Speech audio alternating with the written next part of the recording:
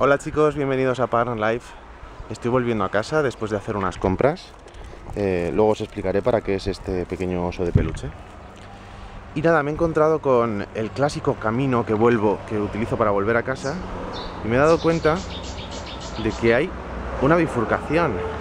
Y he pensado, hoy me siento aventurero. Vamos allá.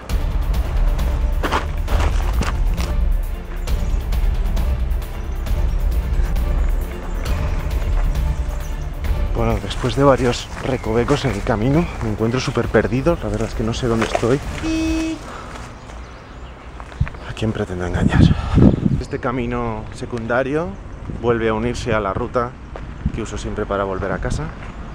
Así que esencialmente es un atajo.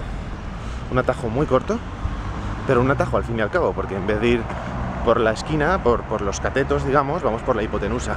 Puedo decir que hoy he hecho mi aventura del día, ser aventurero está sobrevalorado, la verdad, porque no ha sido para tanto.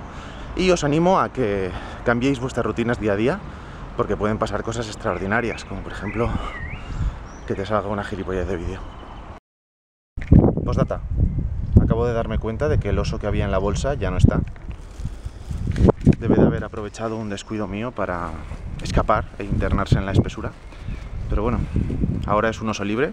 Espero que disfrute de su hábitat aunque lo he comprado en el chino, así que espero que no se alimente de bambú porque aquí lo tiene crudo.